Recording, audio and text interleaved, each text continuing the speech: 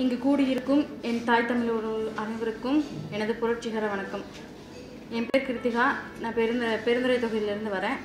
நான் இன்னைக்கு பேச எடுத்துக்கொண்ட தலைப்பு என்னவென்றால் சுதந்திர நாட்டில் அடிமை நிலையை ஒழிப்போம். நமக்கு காந்தி தாத்தா உள்பட பலர் தங்கள் உயிரையும் அர்ப்பணித்து சுதந்திரத்தை வாங்கி கொடுத்தார்கள். ஆனால் நம் சுதந்திர நாட்டிலா இருக்கிறோம் அல்ல. மனிதர்களின் சம உரிமை நசுக்கப்பட்டு போராட்டக்களமாக்கப்படும் வெட்கக்கேடான நிலையில் உள்ளோம். அழி என்றால் அழுவதற்கும் சிரி என்றால் சிரிப்பதற்கும் விழு என்றால் விழுந்து சாவதற்கும் அவர்கள் ஒன்றும் திக்கற்றவர்கள் அல்ல.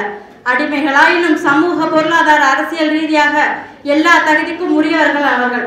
எனவே அவர்களை மீட்டு புதிய சமூகம் படைப்பதில் நாம் ஒவ்வொருவரும் அர்த்தமுள்ள பங்களிப்பை செலுத்துவோம். விவசாயம் விவசாயம் வீணா போச்சு. என்னன்னா நாட்டின் முதுகெலும்பே விவசாயம் என்றார் அன்று. விவசாயி முதுகெலும்பை வளைக்கிறது வங்கி கடன் இன்று. பார்க்கும் இடமெல்லாம் விவசாய நிலமாக இருந்தது அன்று. விவசாய நிலமெல்லாம் மாடி வீடானது இன்று. உணவு கொடுத்து விவசாயி மகிழ்ந்தது அன்று.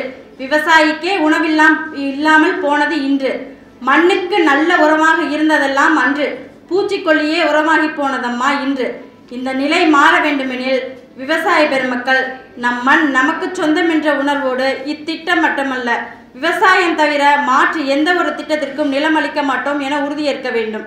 இதனை கிராம சபா கூட்டங்கள் அரசியல் கட்சிகள் கூட்டங்கள் தீர்மா தீர்மானமாக நிறைவேற்றி மத்திய மாநில அரசுகளுக்கு அனுப்பி வைத்திட வேண்டும். ஆனால் அதற்கு பதில் கிடைக்காது.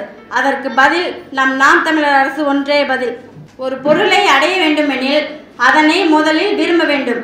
நல்ல உணவை ரசித்து ருசித்து உண்பது போல் தாய்மொழியின் செழுமை மாண்பினை பேச்சில் எழுத்தில் கையாள வேண்டும். முடிந்த வரையில் பிறமொழி சொற்களை பேச்சிலும் எழுத்திலும் தவிர்த்தல் வேண்டும். குழந்தைகளுக்கு தாய்மொழியின் அவசியத்தை அன்பாக புரிய வைக்க வேண்டும். நன்றி. நான் தமிழர்.